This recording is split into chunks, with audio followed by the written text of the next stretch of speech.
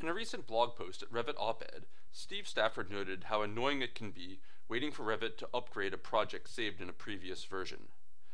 He asks, to make it easier to find out what version of Revit was used to save a specific file, and to have a way to abort the opening and upgrading when a file from a previous version is selected. This Boost Your BIM video shows how the Revit API can be used to solve both of these problems. First, we can select a single file and use the API to find out what version of Revit was used to create the file.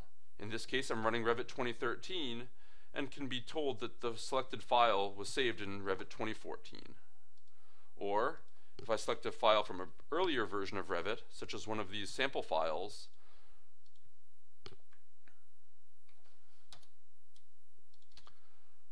can be informed of that previous version, Revit 2014, that was used.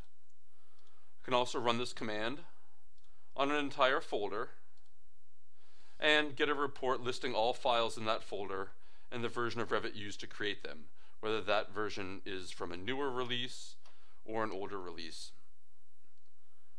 Finally, a check has been added when opening a new file to allow the user to abort the process if desired.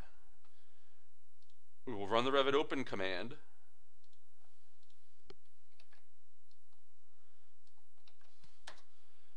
Select one of these 2012 Revit files, and we will now be presented with this confirmation dialog, telling us the file is older and asking if we want to upgrade.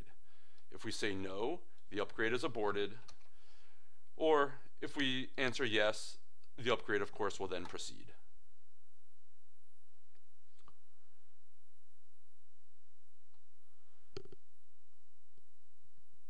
This is just one of the many ways the Revit API can be used to help boost your productivity, make Revit less annoying, and your work with it more satisfying and productive.